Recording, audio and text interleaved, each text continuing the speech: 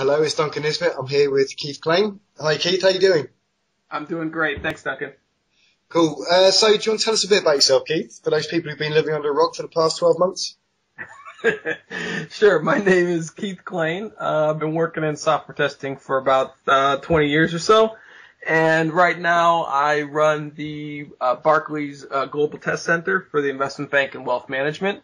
Uh, before that, I worked with Citigroup for a couple years.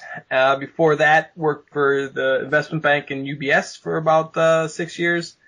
And then prior to that was in a series of consulting and practice-based uh, software testing roles, kind of living and working all over Europe and Asia. Wowzers. so, so your role now is the uh, in the GTC Yes, the the Global Test Center. Um, so it's about 800 or so folks spread across the UK, India, Singapore, uh, Eastern Europe, and New York. And we do all the functional and non-functional software testing for the investment bank and wealth management. Right. Okay. So I bet I bet that has some of its um, own challenges, does it? Being a global global test center. Yeah, it does. You know, there's there's I'm on it's a multi-dimensional problem we're trying to solve. You know, you've got just the day-to-day software testing challenges that come with project work. Uh, you know, meeting all the requirements of the kind of cost quality time triangle and just trying to work out the best way to test software for our projects on a day-to-day basis. Then we've got, you know, highly distributed teams and systems which bring about their own challenges in terms of cross cultural, different project types, different technologies, um, and just trying to manage those dependencies and integration points uh, is is a big challenge, and it takes up a fair amount of time. And then there's just the general people challenge of finding good people, scouring the earth all the time, and trying to keep them, you know, uh, retain them, attract them, and develop them. And that's a lot what we've been doing over the last, you know, three, four years is developing a career path for testers at Barclays to make sure we're getting the best people and make and ensuring that they're trained to within an inch of their life so they can make good decisions. and on on top of all that, I do very much treat running the GTC like a business. Right. So we look at it. At, I have a budget. Um, I have, uh, you know, we we charge to projects in a manner that makes me manage finances in terms of travel and training and expenses and everything else. So we have a cost base we manage to. Um, it's about a 65 million pound budget I run right now. Uh, so with that comes a lot of oversight from finance, from risk and control, from HR, from legal, all the other different assets and facets of running uh, a 65 million pound business for a bank. Um, and that takes a, a chunk of my time as well. And in the middle of all that, I try as best as I possibly can to be a hands-on manager and get involved in project work without sticking my beak too far in and getting uh, making a mess of things and getting getting involved where I shouldn't. So um, yeah, it's fun. You know, it's I would highly recommend it to uh, to to anybody. It's a it's a fun job and and I think particularly at Barclays we've assembled a world class group of people that I get to spend my time with. So I, I definitely consider myself a rather uh, fortunate individual and you can you've always got someone to go to for an inspiring conversation. Absolutely, it's it's uh you know that's kind of the problem I've had, had this uh, as Pradeep uh, Soundararajan would call it the tiger cub problem, and uh, you know James and I have talked James Bach and I have talked about this a lot is you spend time and energy recruiting really smart people and serious critical thinkers and training people in rapid software testing and context driven testing if you're not prepared for the result of just being challenged nonstop and uh, you know literally having everything you say questioned, uh, you you could be in for a rough time. So yes, I never have to go too far to have someone. Uh, I think it's good because it keeps you on your game And I think, you know, I've been accused of kind of liking a fight anyway, so I, I I'm quite happy to to argue um, just for fun. Uh, but I, I, it is, it, uh, it's, you're right. There's never too far to go to uh, have a challenging conversation. Cool. Yeah. Yeah. I guess the advantage of playing devil's advocate as well, you get people to refine their ideas.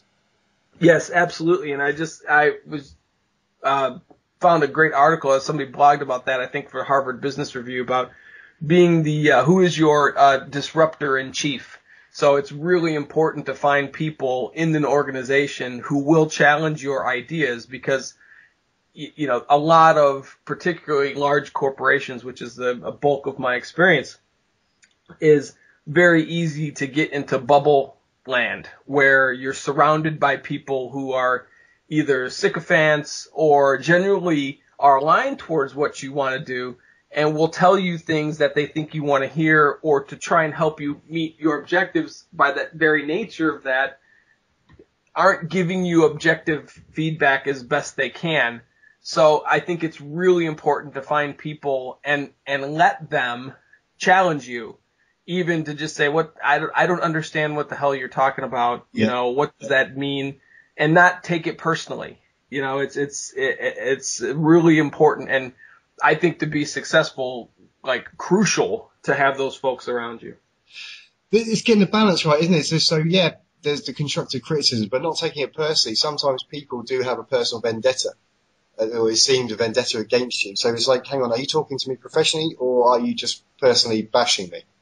Yeah, I think, yeah, yeah, I, I, I get that, and I think you know, testers particularly struggle with that a bit because it's part of the nature of what we do is to is critical thinkers to try and break problems down. Yeah. But I I do find people are so attached to their ideas that they can't function to the level that they should be able to because when people hear that they don't like one of their ideas, they translate that instantly into well then they don't like me. Yes. Yes. And, and and then you're you're so wrapped up in trying to define yourself by how you think, not recognizing that how you think is made up of so many different variables and dependencies that any one of them which should be changed would probably pop another idea in your head.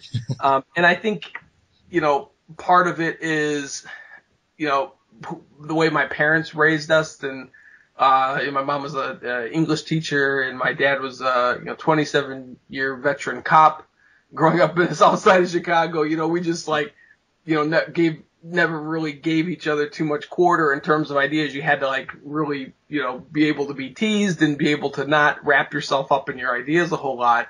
That, um, I, I think I, I've never, I've never really had a problem letting that go, which, which is, which has been helpful because where I see a lot of people not being as successful as they can be is being too wrapped up in defining themselves by how they think. Right. Okay. And then, yeah, and as you say, you got the, the, the people surrounding themselves who agree or appear to agree with what they think. Yeah, abs- absolutely, absolutely. And you know, this is you know uh, the the talk I just did about the the testing for confidence. Yeah.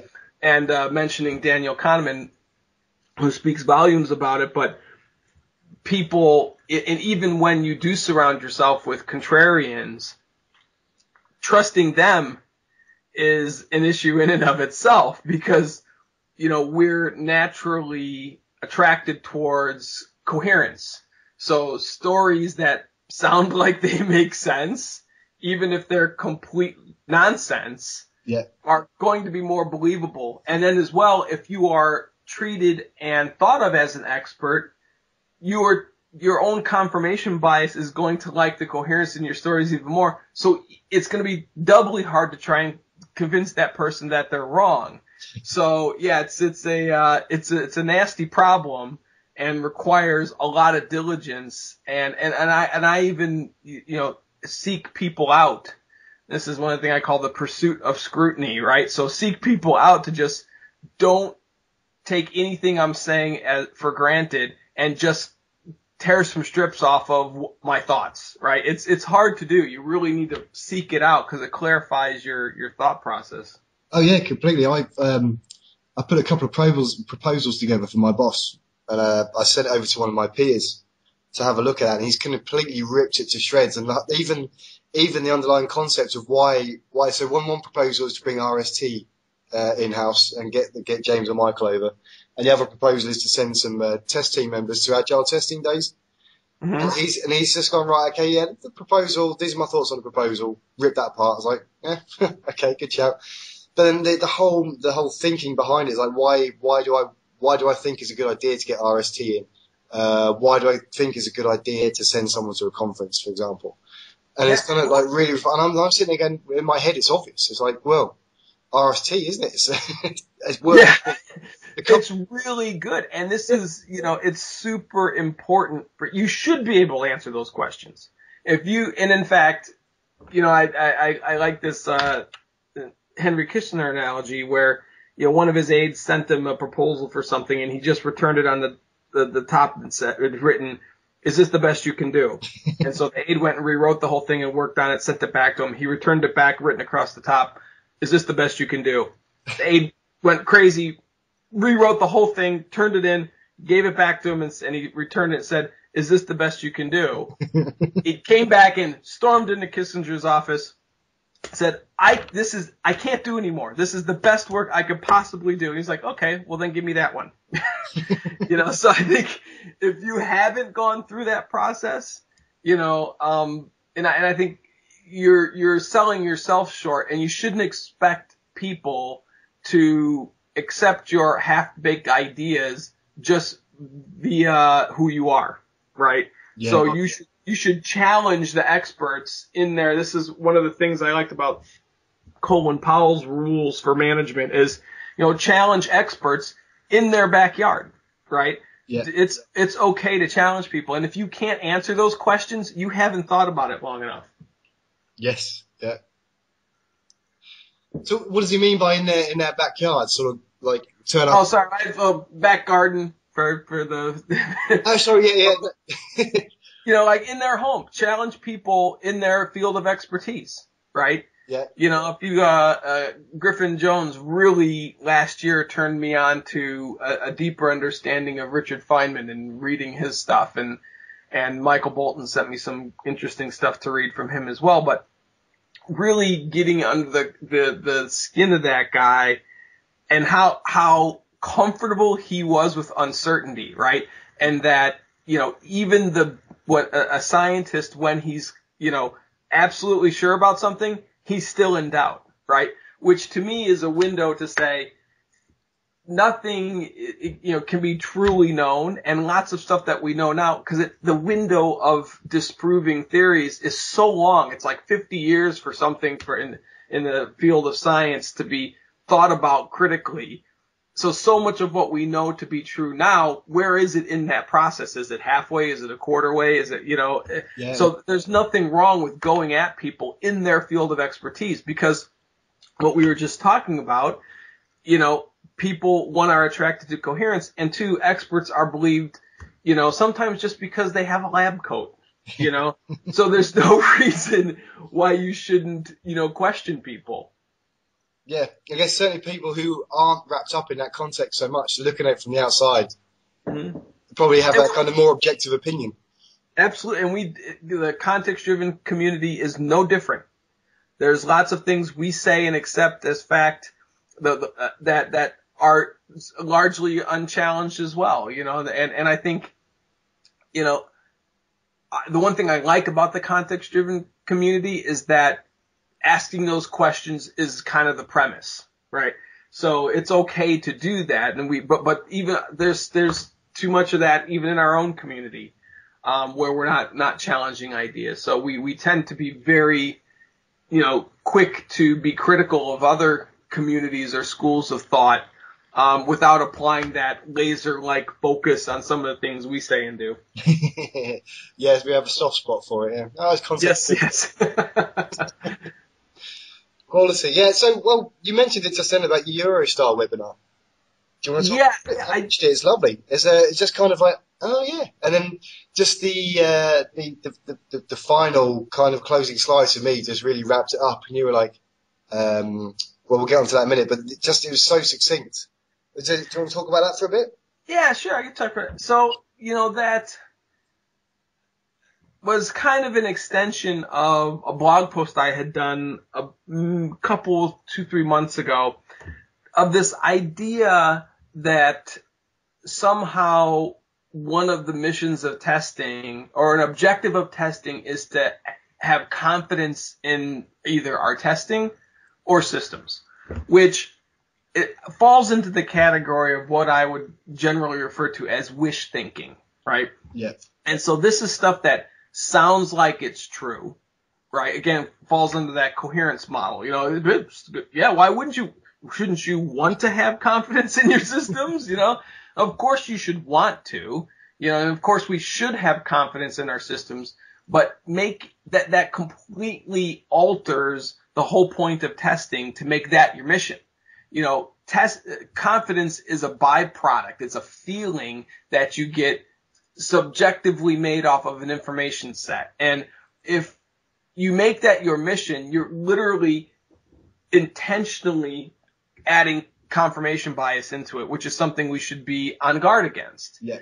And there's some rather, you know, prominent figures in the industry that I believe market testing in that way. Um, that it just keeps popping up and every time I think it's gone quiet, it comes up someplace else. And and it's amazing through some of the conversations that I've had with people how many testers even believe that. That you know, no, I'm, I'm trying to get people confidence because it sounds right, you know. And the, the goal is not to get confidence; it's to get information. And if people feel confident off the back of that, that's great. But if you're going to make that your mission, you know, this is a huge problem. And if you, you know, one of the examples is this curse of Cassandra where you give, you know, unheeded, uh, uh, consistently unheeded warnings, right? That if you're going to consistently say things are okay and then they aren't, yeah. you know, you're, they're going to come right back down on your head and say, Hey, you know, um, you know, this is the QA firewall or the testing firewall mentality. You know, you said it was okay. You yeah. told me I should have confidence. So don't be surprised when they kick your ass when something doesn't work. yeah, that's it. Why didn't you find this in test? Mm-hmm. It's really the essence of that mentality. It's the essence of, so when you're telling people this is okay to go, you are putting your stamp on it that it's okay. And you can, you know, they're not mutually exclusive, exclusive, right? You can be a stakeholder in the company as a tester, as an employee, yep. but still not muddy your mission as a tester by providing intentionally unobjective information. Right? And that was, that was really the, the, the point of it. And to try and respond a little bit to some of that nonsense you hear out in the industry, you know, that I call it the, the echo chamber of the testing industry you know, stuff gets, uh, you know, this is the leprechauns of software, right? So, you know, stuff gets said that's unproven, unvalidated, no empirical evidence, but they just kind of bounce around the echo chamber yeah. and start to become true because they're repeated enough, you know? that's, that's, exactly right. Yeah, someone just had a, a ranty blog post and before you know it, it's, uh, it's fact. Yeah. Yeah, yeah, exactly. So that, that was, you know, the, the I'm, I'm really I'm looking forward to uh, to Eurostar this year. I think Michael's done a great job with uh, the the program there, and there's going to be a lot of interesting people there. But I think more importantly to to our chat is, um, you know, let's test Australia, which I'm very excited about uh, to, to to go to next year. Of course, yeah. How did you get involved in that? The uh, I can't remember who it was, it, exactly who it was. It might have been Anne Marie but I got a call uh, during the last the last Let's test um, when they were putting together the program for next year and got asked, would you would you want to do a keynote? And honestly, without even thinking about it, I said yes. Um, and for, for me, it's you know on multiple fronts. Uh, I, one, it's a huge honor to be asked to give a keynote in front of an incredible, uh, dare I say, peer group because I, I really think, you know, I was looking at the program last year for Let's Test and I, you know, I think I tweeted something along the lines of, you know, it's the best and brightest minds in software testing all in one place. And I, and there's a lot of really, really intelligent and great software testers all concentrated into one area. So to one, to participate in that and two, to be asked to, uh, give a keynote was to me, in all honesty, a tr- tremendous honor to be kind of, you know, p- thought of somebody who could add to the, the, the dialogue there. Um, and, and, and two, um, it was, uh, I've never been to Australia. So, uh, to, to help, you know, uh, expand the, uh, the Let's Test universe and as well get a chance to go out there and see the country a little bit was, uh, one of the last places I haven't spent any time. So I was doubly excited to do that. Cool. Yeah. There's a, there's some little voices that are jumping around. When I hear like about their testing in Australia, I just get images of like Dave Greenlees just jumping around saying, I'm over here. Don't forget about us. Uh, yep, yep. I talked as well for New Zealand. It's like, yeah, yeah, we're over here. Don't forget about us. So for me, let's getting Let's Test over there is just really spreading spreading the community and bringing them under the wing. I think it's lovely. No, I and I think you know if you look at the context-driven testing community and the conferences that we attend and the style of confident conferences, and I think you know maybe it was you. I can't. I have so many conversations. I think it might have been you I was chatting with about. It's important to see how the other half lives a little bit. Yeah, yeah to see how you know some of the other big conferences run and how fundamentally different um, the the the the style and method of interacting with people is. And I think, you know, I've always said I view the kind of factory school and very commoditized testing uh, grip on the testing world as very uh, tenuous. I, I one of the things we're not great about, which is one of the ideas I have for the talk, is um, how we actually communicate the benefits and the approach to context-driven testing in a more skilled skilled testing in, in, in general. And I think with some uh, some work and a little bit more um, coherent and congruent message amongst the communities, you'll see a seismic shift. Um, you know, I mean, would you have thought, you know, even a couple years ago that something like CIO magazine would start talking about context driven testing, you know? Yeah. And would accept that as an idea, you know, I mean, and there's, I, I think even bigger things on the horizon for us. And I think as, you know, we'll talk about Per Scholas in a little bit, but yeah. seeing the rapid skill development that the students have had through the context driven training that we've put them through rapid software testing and the way in which we're training them over basically a six week period. Um, I think once those stories start getting out and we have a coherent marketing message or at least a messaging around it, because that's one of our biggest problems we've had, I think, in context driven testing is that, you know, if you look at some of the factory school stuff, the common criticism is, well, do you have a viable alternative? Yeah, yeah. Can and, you afford not to? Yeah, exactly. And I, and I think we do. I, I think um, we just because the nature of what we do is so um, you know cr- the critical thinking it it tends to and and the, the kind of rugged individualism of all the people in the community yeah you know, people just like they're not joiners. You know what I mean? so it's you know it's hard to you know it's like that. I'd say the you know the Groucho Marx quote. I'd never be part of a club that would have me as a member. You know. yeah. and, and and and for years, you know, probably until up until the last four years, I had been actively monitoring the AST and uh, the, the context driven community. Knew who James was. I talked to him a couple times at conferences. Highly inactive. Just not didn't want to participate in stuff, and it's really only been over the last four years or so that uh, I've been active. So I think you know there's lots of people like that. We just gotta find them and connect them. Yeah, and get them motivated to start speaking out as well. Mm-hmm. Mm-hmm. Yeah. yeah, exactly, exactly. I mean, yeah, that's. I mean, that's one of the things that Let's Test I really enjoyed. Well, I guess it comes from cast model, isn't it? The uh, the open season at the end of each yes. section. So it allows that critical thinking to come out and people just to say, oh, well, hang on a minute. I want to question that that point, and then again go back to what we spoke about earlier. The the person uh, giving the session it gives them a chance to refine their thinking even further. Again, it's Yeah, like yeah. you you leave yourself uh, like okay, I'm ready for it. I've got 20 minutes of questions. Go for it. Well, and I think that's it's super important if you go to you know it's it's one it's a huge difference between allowing for Q&A at the end of a session, which is what typically happens at these conferences, and structuring the talk so that the it's not just if we have time we'll get to some questions Yeah. you have to stand up there and and take questions, right? It's it's actually part of the time allotment, Yeah. and it's not only that somebody's there moderating that, so to cut you off and start taking questions from the audience, and and the the the thing where I think what I've seen work needs to be done is that even if you agree with what the person's saying, we need to do a better job uh, because if you, if you look at cast last year, a huge bunch of first timers, right?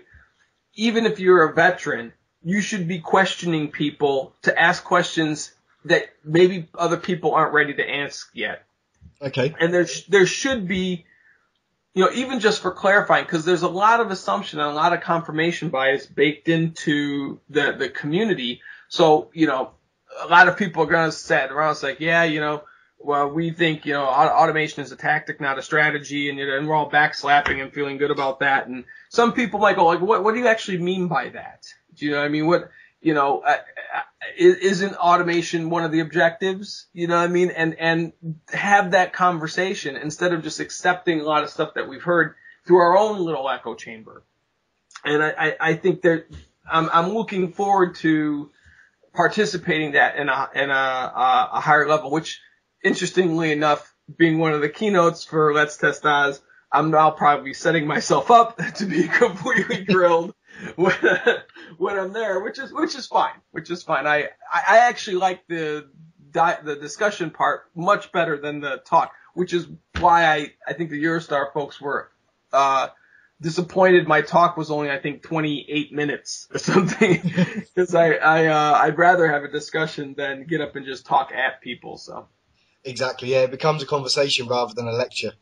hmm Uh, I mean, that, Yeah. I think that's what I was saying in the proposal. Just this guy was like, um, saying, well, okay, so there's this session. I found a video on this session. Surely that should do. And I was like, well, yeah, I've watched that video as well, and that's just got me interested to go to the conference to do the session for real. Because then you have the conversation, you get other people's input into it. It just makes the whole experience that much, much that much richer. Yeah.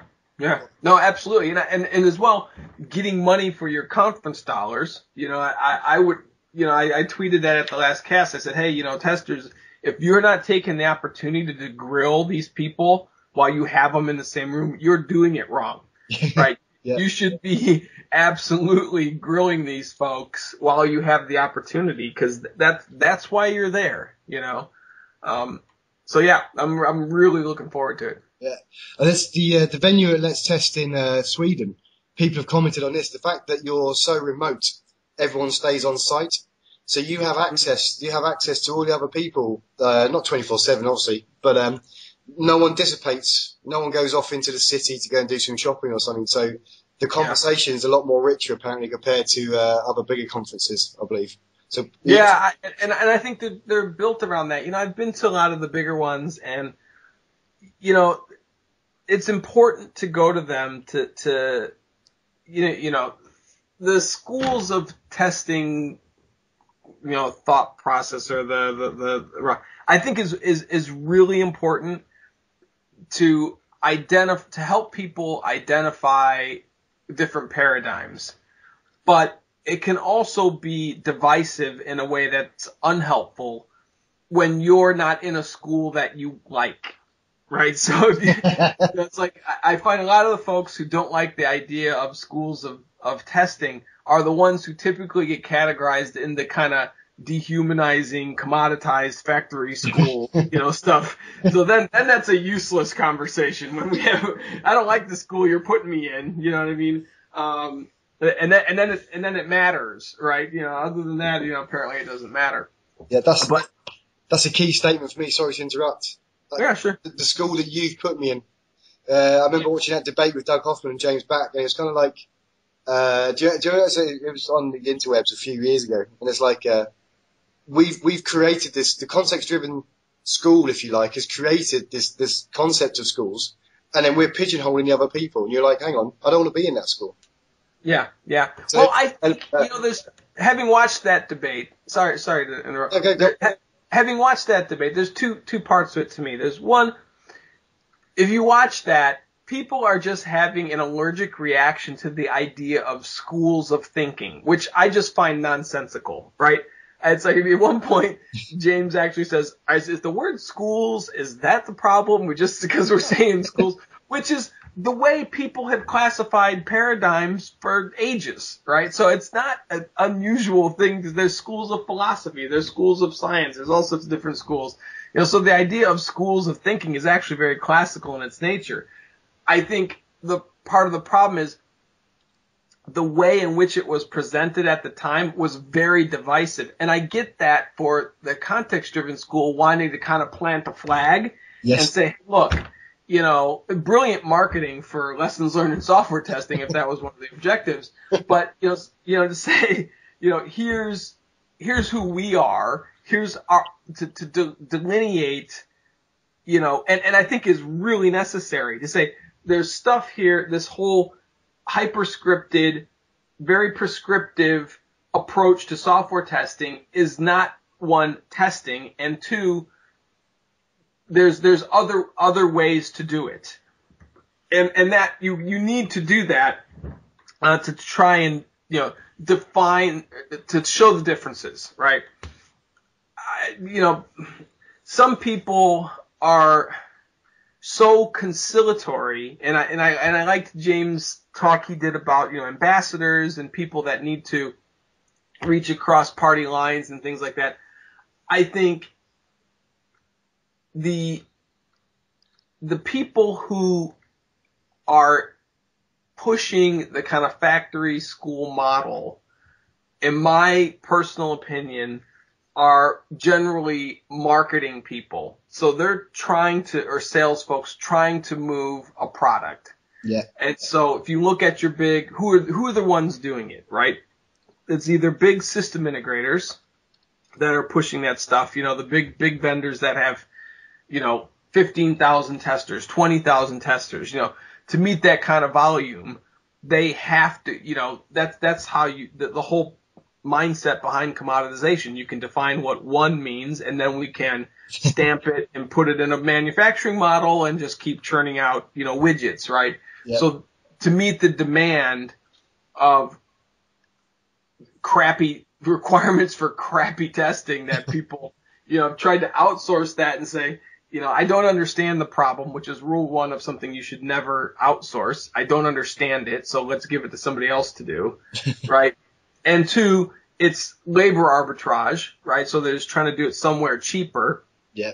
And then three, it's a process they don't understand about what good testing actually looks like. So you've got, you know, dyed in the wool opportunists and marketing people who go, Hey, you know what? Yeah, I, it cost you, you know, X amount to do it in New York. I can add three people to the problem and still do it for half the price from Southeast Asia, right? Yeah. And, and that's created some really, really bad behavior. My personal experience from dealing with a lot of these folks and the people who sell that stuff is that if their view, and I've had this conversation with senior folks at the at, at a lot of these companies, is that I would ask them, why do you sell me this crap? Right? You come in here and you tell me the stuff I know is not true, and you try and put a nice little button and ribbon on it and give me a dashboard when you know I know that's not true. Their response typically is, hey, if you guys would stop buying it, I would stop selling it. All right. Yeah. Vicious circle. Yeah, e- e- e- exactly. So I think, and I've, that's one area where I've really tried to reach out to and say, hey, look, let's, there's a better way and more business value focused way to test, you know? So, um, I, you know, I, I, I, I think it's, you know, there's the whole certification debate and, you know, the relative value of that, which, you know, I think is just intellectual laziness on a lot of people's part that they don't directly translate the harm that does to the industry to them. And this was, I think we were talking about earlier, is that you and I both make less money because of that crap, right? and, and if people put that together and said, hey, you know what? I don't have as many opportunities, or I make less money because people think my job can be done by trained monkeys. Um, you know, hey, that actually hurts me in the pocketbook, you know. And and as James and Michael both said that, you know, they, they don't like they want bad testing to die too, right? Yeah. So nobody's afraid of, you know, test is dead. Yeah, we want bad testing to die too because everyone else has better opportunities and makes more money and has better careers. But those groups have a, right now, a deeply seated vested interest in perpetuating that model. So with your, with your work with the, the GTC at Barclays, uh, and obviously you you got the global, the global company, have you, uh, had any kind of interesting challenges around, uh, conversing those countries that typically had a commoditized kind of testing mindset into this like no testing's a thinking game. You're not a commodity. You're not fungible. Have you come across any kind of uh, interesting challenges where those, the, the, the, the testers typically typically in that country are no just give me some requirements and I'll I'll tick a box? Yeah yeah I, no so I mean speaking specifically about um, India for us and it's been an interesting kind of petri dish. So, so we started most of our context-driven rapid software testing training in Singapore, okay. which, interestingly enough, the makeup of a lot of the test population in Singapore is actually Indian nationals who live abroad. And in a different context than being in India, they took to it like a duck to water, right? Okay. And even when James came out and did the initial training, he was like, "Oh my God, where did you find these people? These are not the folks I thought we were going to have." And we've been doing a lot of prepping and work with that. When we started the training in India proper and working primarily in Pune, we already had some good case studies for that, but I think the reluctance to question me and the approach they would say, "Oh yeah, you're right. We're going to start, you know, uh, doing session-based test management. Let's do the training and exploratory testing." Without going, hey, I, I want you guys to push back against that too, right? I want you to. So then you get to some level of ownership that you feel like it's been through your thought process, and then you're like, okay, you know, yeah, in this context, ET does work, right? And this is where we should be be using it. And so we just kind of shifted from everybody was really excited. You know, senior management coming out doing some training, famous tester James coming out and doing some training. And so we just shifted from everybody who was just doing metric scorecards and was gung ho for that to, you know, it was like the five year old soccer match, right? So we were chasing the ball this way. We just changed it. Now everyone's chasing the ball that way.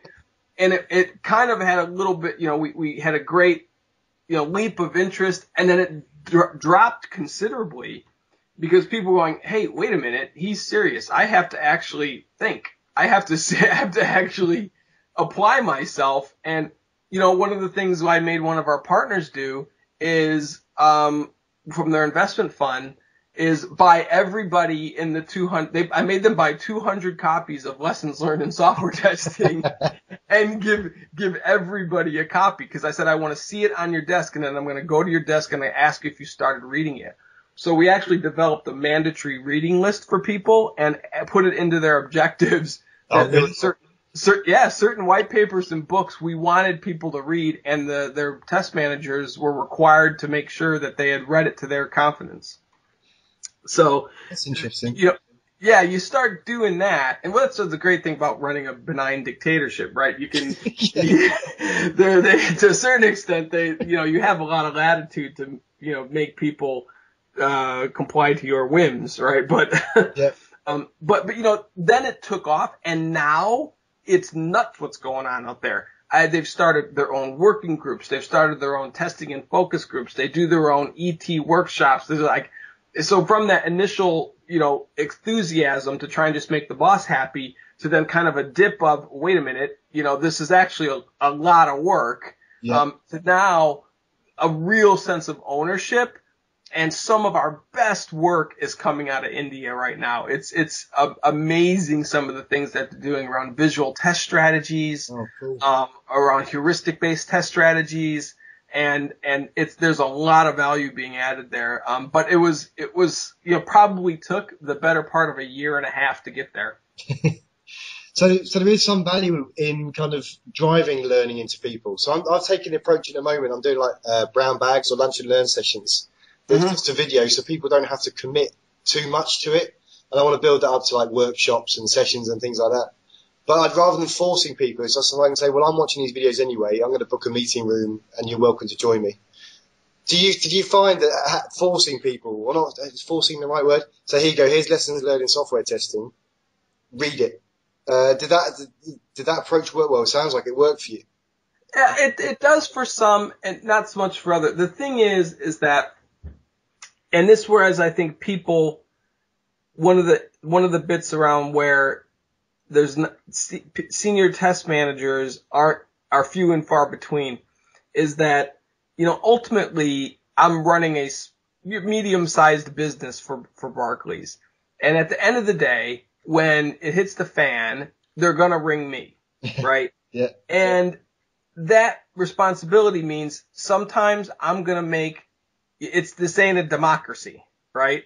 And, you know, yes, I want to take everyone's view in and I know, and I know the, the NVC people will be all over me for that, but at the end, at the end of the day, you know, sometimes decisions got to get made. And, and if I truly believe that what we're going to do is for the betterment of them, even though they may not know it Yeah. or realize it yet, or gonna help us test better for a company, which is, you know, ultimately the goal. Cause a lot of people have an assumption that their job is some kind of entitlement and not, you know, not a privilege that is funded and can be taken away at some point.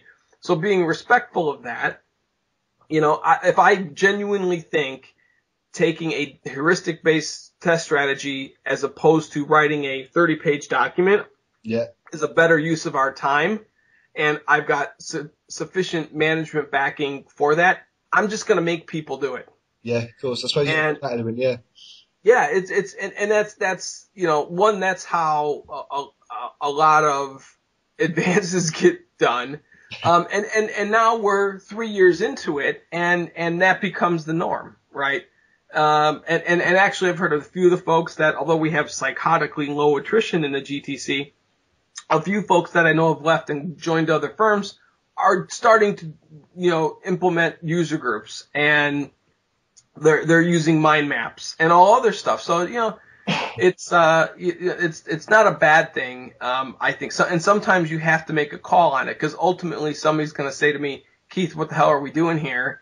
and I'm going to have to explain myself and what we're doing. And that I don't I don't have a problem making those judgments because at the end of the day, if you're being thoughtful and critical and not too attached to your ideas, guess what? You can change your mind. And we were doing it this way. We make small adjustments, you know. Um, but but some some things have to be done a certain way. I said, I guess if you weren't investing in like heuristic test strategy, you'd be you'd be investing in a, another factory school method per, per se. Yeah. So it's, the money's got to go somewhere. Yeah, ab- absolutely. And I think, you know, I tell the folks that because interestingly, an interesting reaction that we had when we first started deploying the context-driven testing approach at Barclays was some of the testers kicked back and their objection was, hey, you know, this is great while we're here, but if I go somewhere else, how am I going to work in a factory school environment? How am I going to do other things? How am I, you know, I'm going to get trained in this stuff. Yeah. And, you, you know, it, does this make me cur- commercially viable? Which is a completely legitimate concern and, and question to raise. And I tell them when that, that gets brought up is you, regardless of where you work, if you follow the techniques that we're going to teach you and the test approach that we're going to employ here, you can always go back to sleep, right? yeah. and you'll still test circles around those people, right? And in some ways, you'll be a much better tester in that environment than they would be. Um, but you can always, you know, take the blue pill and go right back, you hook back into the matrix if you want to. Um, but I don't think you will. I, I think when you'll have a difficult time checking out once you truly get it. And, you know, we, you know, one of the things that we did was we had, when I joined, we had 15 level, or no, I'm sorry, five, um, was it eight, seven or eight, seven or eight levels of test, uh, uh, description. So we had, or, or rank. So we had test analyst, test lead, test engineer, test senior test manager, test manager, uh, you know, t- it, was, it was like, it was seven or eight things. And, and I said, look, we're going to get rid of all that. And we're going to have three levels, right? A test analyst, a test manager, and a senior test manager. And that, and people went, oh, you're going to, everyone's going to quit. You know, you need to be promoting these people and that. And, you know, that first year we had, I think, you know, a 4% attrition rate because I said, look, we're going to pay you to market. Yeah. But I don't want you focused on your rank, you know? We'll, so we've got people with 15 years experience who are, their title is test analyst. And my view is, what's wrong with that? Right? Who cares what your title is? Are you doing good, great work? Are you in an environment that's allowing you to use your skills and you can learn and fail and fail safely? Are you doing challenging work? Right? You know, I think those are the things that are important and, and, and, you know, leading from the front in that is, is important to kind of set the tone. But I think a lot of this stuff all falls into that, the, the, the, the myths of managing people that they, they care about that. They care about money. They, you read anything about it, people don't care that, they care about being able to have a living wage. Beyond that, most people don't really care that much about it. They want to do challenging work in a healthy environment. I, I, I do know an example of uh, some guy who's actually into his title, and he's, uh, he's he wants this lead this lead title, and the money goes with it, and he's not happy that he's not getting it. But you know, I, I think that that person won't be happy anywhere. No. You know, because you're defining your happiness on external things that are completely arbitrary. You know. Yeah. Yeah. I guess so. Yeah. So. So um. This... Oh, you weren't talking about yourself, were you? so, I, I am that guy that has, I've been testing for 12 years and I'm still a tester. But yeah, the title doesn't mean anything to me. I know, uh, I, I, I'd mentally checked out of testing, uh, before I moved into like the, the, the kind of agile role and then did the RST. And that just reinvigorated the testing for me straight away. It's just like, uh, the, the thought of writing another test specification or, uh, test plan or, uh, blooming test cases in Excel just yeah. made me feel so nauseous. I was thinking, I need to, I need to change careers. So I was looking at that, right, okay, do I make the stepping stone into a developer like everyone else does at the time? And it's just like, no. And then it's just like, right, uh, oh right, wow, testing can be different. And then it's like, so then, then it was an, uh, it was an XP team. So I was like, I've been recruited and you're telling me that I'm not needed. We don't need testers. Oh really? Right. Okay. And then he's just like, and then from day one you start finding you start finding or adding value by uh, dispelling their illusions, as James Bach says.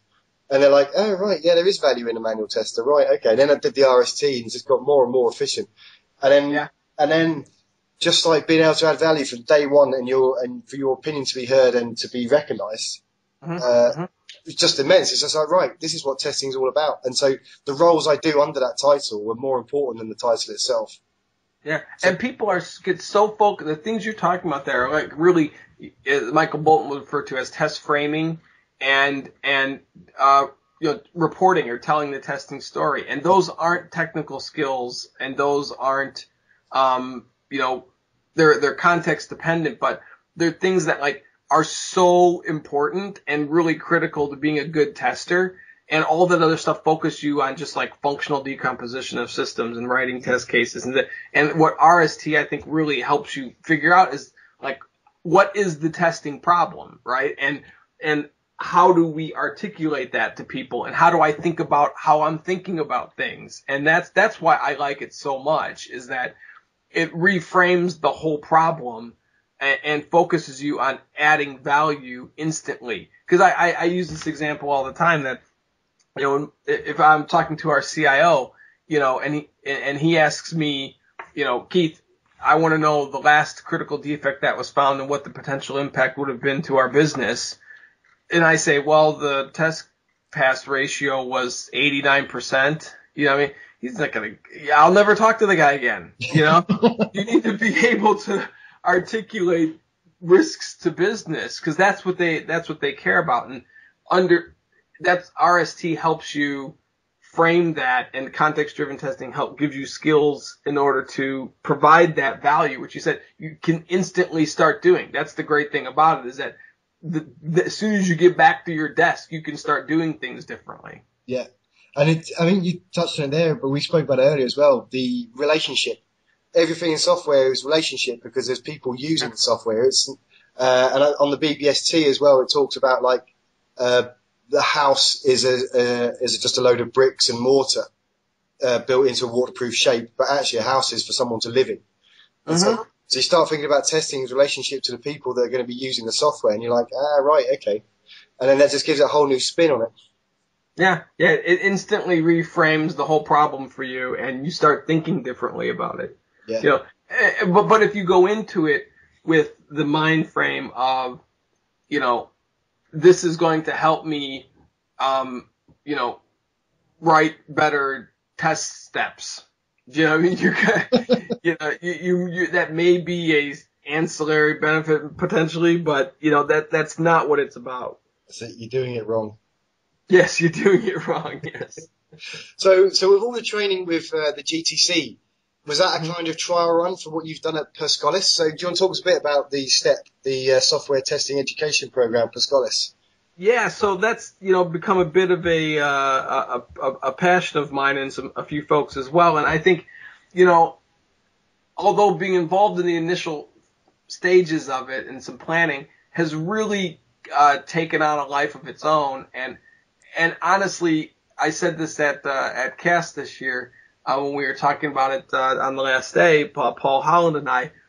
You know, people should be incredibly proud of the community that we're in and the way people, uh, just like yourself, you know, have pitched in and helping people and and they're they're amazing folks anyway. And, and the whole thing uh, really got got started when uh, my CIO at the time, who's who's still on their the Per Scholas board, um, we were talking about nonprofits and training during our regular meeting, and he said, "Hey, you know, you should go out and meet with the Per Scholas folks and do. Uh, you can go out there and give an industry talk and just give some context to, you know, where how you got your job, what you did, and what you do, and and and give people just kind of a, like a learning through leadership session."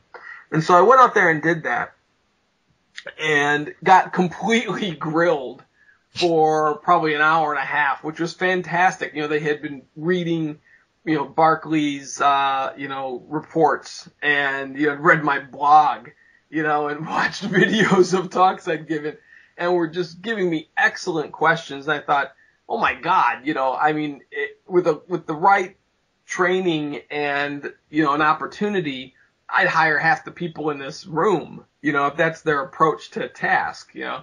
Cool. So, what was that? I was gonna say who who were they? When you say uh, these were students at Per Scholas who were attending the 15 week training. So every student who goes through Per Scholas does a 15 week uh, intensive basic technology boot camp. Plus, um, there's uh, life skills, office skills, you know, professional development that goes along that over the 15 weeks. Right. Um, so it's a it's a really intense uh, training period to start off. Then um, when we started up the the step training, they get they have to uh, uh, be, be pre-selected and then and then uh, basically handpicked to be on the step course. Um, and then they go through uh, two days of this the introduction to software testing that I I teach at Barclays, and then spend a day on a client site actually working alongside real software testers to see what their day's like. Then they then they start three days of RST, and then do a week of RTI. Uh, Paul Holland is the principal trainer for that, but it's the same uh, courses that are available commercially. Yep. And as well some stuff added in from what we teach at Barclays. And then they do four weeks of U-test sandboxes I was going to say it was previously during the first two weeks, uh, QA Symphony and SmartBear have very generously given um, software to, to the folks so they can actually get some experience using commercial grade automation tools and Yeah. uh, you know, test planning and case management tools. And then they do four weeks of uh, U-test sandboxes, um, which is actually working on real projects from the Per Scholas lab. So um, the first cohort is just uh, about wrapping up. So we haven't even finished the uh, the the pilot course yet, and I've had lots of interest in people going on interviews. And I think one of the the so people like you know James and Michael and Paul Holland, uh, you know Lorinda Brandon from Smart Bear, um, you know Fumi from uh, UTest. Uh, uh, Josh and Vu from QA Symphony, uh, the AST's giving them a year free subscription or, or membership to the to the AST. Uh, there's there's there's all sorts of fantastic folks who have pitched in. Aside from companies like LiquidNet with Anna Royzman, who's done site visits and done lectures there on agile testing. Uh, there's been all sorts of fantastic people helping out. Um, but I think one of the greatest things about it is that we've started up this mentor program where we pair up a student with a seasoned uh, testing professional from all over the planet. Um, in fact, very few of them are actually in the U.S. to give the, when these people start they real jobs, they've got an outside work relationships with somebody to ask questions that they might not want to ask on the job Yeah, yeah. um, and, just give them some advice and form relationships. And I think the, the greatest thing about it is kind of taking a, a bit of a leap of faith on, on these folks. And I had a, an epic long conversation with Michael Bolton one night about, you know, was this all going to work? And we were both pretty convinced that it would. Is the feedback we're getting from people about how awesome the actual students are. Yeah, oh god, yeah, yeah. Yeah. So so the the whole the whole thing's been fantastic. We've got another cohort starting in November. Um, we've got some relationships we're building with a couple vendors on on uh, getting these folks some some jobs because you know the the goal was never to put them through six weeks of training and then you know submit them to you know uh, JobServe or Monster or yeah that they're, they're, they're never going to swim in that sea. So we need to form relationship with some folks to give them the opportunity to show what they can do. And we've had people interview with all sorts of companies already. We had one of the testers um, do an epic three hour interview with Google in New York. Oh wow. And, oh yeah, and got through it. And unfortunately, they they wouldn't get past their requirement that people have to develop. So they told her to go to Codecademy and learn some Java and then come back.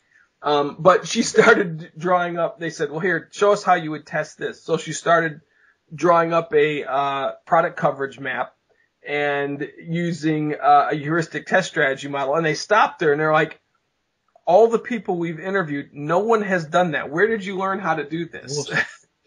yeah, that's yeah.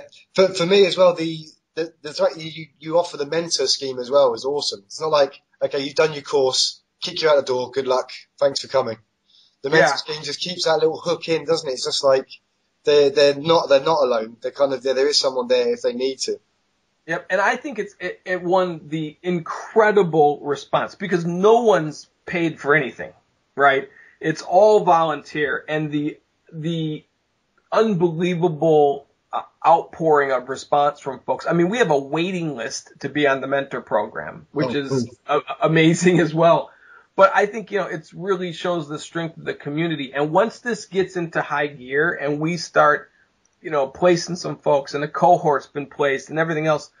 I I truly believe, and you know, everyone laughs at me. I I think it's going to be a big game changer for how people testing roles are sourced and people are trained. I I think there's a real viable commercial model here to say we can take folks from all sorts of walks of life and do, we could do project work. You could do all you could do all sorts of stuff with this. Yeah, And I and I think it'll be that will be part of the counterbalance to the 40 question multiple choice test that somehow certifies a competency. We, we we're producing people with you know little to no testing experience who are getting interviews with Google and and being grilled for three hours Um, and, and I, and I think that's a fundamental difference. No one who took that other certification would, would get through that, you know? Yes. I mean, and that, that's a classic as well. It's like, uh, the foot in the door, isn't it? Must have ISTQB. Like, yeah. Yeah. I, and, I, and that's why I think that that foothold is so tenuous that just with the right push and, and a very viable alternative, that stuff will just, they'll either have to fundamentally change so much it won't be commercially viable anymore because they, they're not structured to offer comprehensive training. You know, even the advanced and expert courses are just exams, yeah. right? And the training is still a week. And even though they have years of experience requirements, it will fold like, you know, some of the other schemes that have been developed like that. You know, we're talking people that part of the training is it's six weeks of training, by the way. And it's, you know, they do RST, they do RTI, and then they use those skills directly under the guidance of the uTest folks and, and James, Paul, and Michael. And they get direct feedback and coaching from those folks on how to test and then use the skills directly on projects. You know, that's, that's fundamentally different. Yeah. You know, uh, than than coming in and saying, look, you know, she could sit down and draw a product coverage map because she's done it multiple times through that training. And yeah. I think that the the part one because it's all um, nonprofit, so to to to enter Per Scholas is free, right?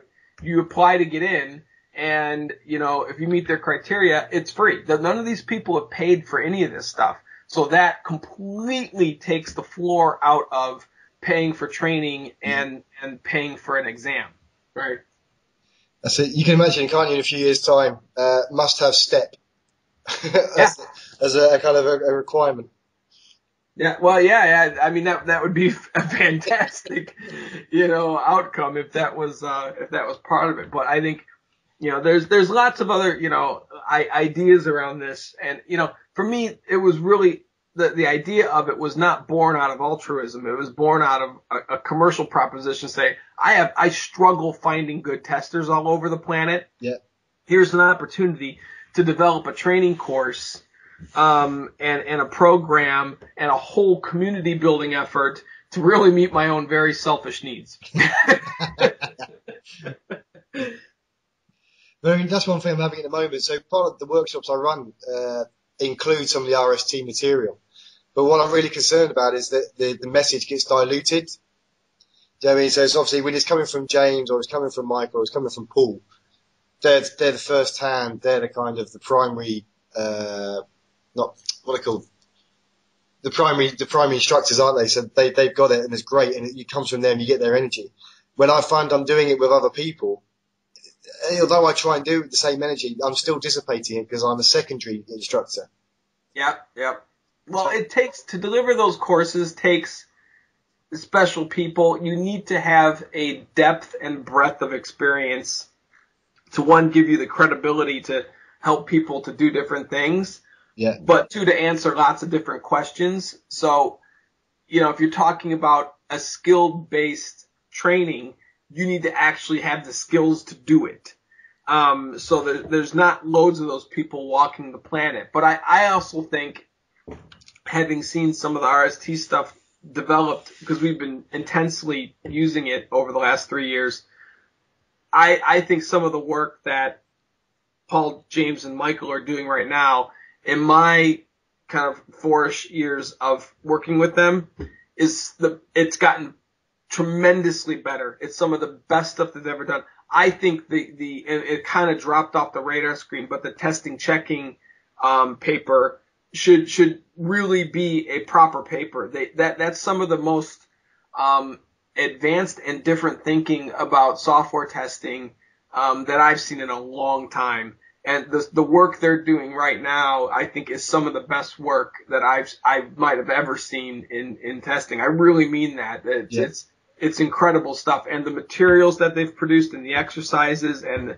is and pushing the Per Scholas um, turning RTI into a kind of five day commercial model um, that can scale has forced a discipline on some of the materials that has just turned it into something really great. I really, I really mean that. Yeah, that's cool. That's it. I, I really hope it comes off. I want to get the RST on the rock. That's how, that's how I'm selling it. Yeah. that sounds fantastic. Yeah, just going back to Per Scholas, I'm speaking to one of the students, and uh, I'm just so jealous. So he's, so he's got, got all this kind of intensive training behind him. It's just like, wow, if if I had done RST, I would just I would just be nauseous. So luckily Yeah. we can talk about RST. That's fine. And you go, I go, what are you up to tonight? He goes, oh, I'm going to a I'm going to a meetup over in so and so. And then, oh, what are you tomorrow? Oh, there's another meetup. And basically, he's just he's just having a wild time at the moment, just going to all the geeky meetups that I've just Yep. done. And I'm like, oh dear. Like, so he was at BDD Exchange last week, Yeah, yeah. and it's just like, oh yeah, I'm not jealous. Well, they were able to swing um swing ten tickets to the BDD exchange. Oh, awesome. Yeah, yeah. So they they got uh, Per Scholas got ten tickets, and and that's the that's the thing that I think has been missing is that the the kind of private part private public partnership around that to you know because Per Scholas looks at their gig as a business, right? They want to make sure the folks that they have a high placement rate for like the last I think they've been in business twenty years. It, it's it's over like 85% that they find people jobs and they stick in those jobs. So think about getting through 15 weeks of intense technology, corporate life skills training for 15 weeks. You know, it's it's a it's the people who make that through that are highly motivated. Yeah, You know? yeah. Um, and so the folks that come out are very, very good. And there's access and um, resources available through that kind of private public partnership that if you were just going to do it on your own, like if I was just going to do something like this for Barclays, as as you know, great as Barclays can be at times on this stuff, I'd still have to compete against all the other, you know, I'd have to find find training budget for somebody. You know, I'd have to, Yeah. you know, there's all that kind of stuff that comes with it, the bureaucracy that comes around just pursuing it from a private perspective. And if you just did it from a public perspective, then where are they going to get the money from? You know what I mean? So to, to combine them together has been a really interesting um, relationship. I was just at a, a, a mini conference on this. JP Morgan hosted uh, um, a, a company called Year Up, which is uh, does um, uh, internships for disadvantaged folks uh, in all sorts of neighborhoods to, to work with companies. And Per Scholas was there, and we were talking about the step training and stuff. This is really becoming a huge thing, finding alternative sources for skilled labor um, outside of just kind of traditionally trying to hire yourself or go through third parties via outsourcing or systems integrators and things like that. And there, you know, aside from the social good part to it, the people are awesome. Yeah. Mhm. Cool. So, uh, what's next? What's next for Step? You've got another Uh, coming in November. Have you, are you making any changes to the course? No, there's not. other than some mild alterations. Um, we'd have no no changes for the course for the second one. We'll take some feedback from the folks about what worked, what didn't work with the with the uh, the training, and then the the, the uTest uh, sandboxes. Um, but for the most part, we're we're on course to deliver similar-ish uh, training for the second one. Um, you know, next step is really to uh, you know get get people into some work and uh, finished off some of the, the partnerships that we've got to get the folks hired and get the next uh, cohort started um, and and continue on from there. Get another round of mentors uh, lined up and just keep it going. And you know, I I think there's you know, I've got other grand ideas about how you could build. Um, and I like to call it an urban development center, but instead of doing things offshore, develop project work from a captive in the Bronx. Um, and, and so there's some there's some commercial models I've been. If you look at something like the city of New York has tons millions of dollars in tech funds that could offset transition costs for moving work back from other countries Yeah. into urban areas. And uh, if you look at, um, I know there's similar programs that focus on this uh, in the UK, where the Department of Works and Pensions, uh, you know, sells contracts to different cities to give them money to help people find jobs and get off you know, long-term unemployed or people get off the dole. Um, if you paired that up with training, and I've been talking to a company in Ireland that's that's done this right now in a small scale. Um, there's there's opportunities to take this thing internationally as well. I, have been approached by three countries um, to get their hands on the training and how and to see how it goes. So a lot of people are watching how this how this pans out because the, there's there's folks all over the place who have the same problems that they that that we're trying to solve. So fingers crossed, you know, we have it's wildly successful and uh, we uh, start start putting people into work, um, and then we'll we'll we'll take it uh, probably across the U.S. next, and then look at uh, you know what the what how it could be rolled out globally. Gotcha. Okay. So I guess the proof is in the pudding. I mean, the the energy sounds great from the the first cohort. So let's just see how they get into work, right? As with everything, the proof. And actually, I, if I if I can correct you, I think the proof is in the eating. that, that's probably a good note to end on, Duncan. Excellent. All right, Pete. Thanks ever so much for your time, mate. Yeah, it was great talking to you, man. Real appreciate it. We should do this again. Definitely, definitely. It's good to get some inspiring chat on the go again. Okay, man. Okay, man. I'll catch you later, Keith. Thanks again. I'll speak soon. Cheers. Bye bye. Thanks, mate. Cheers. Bye.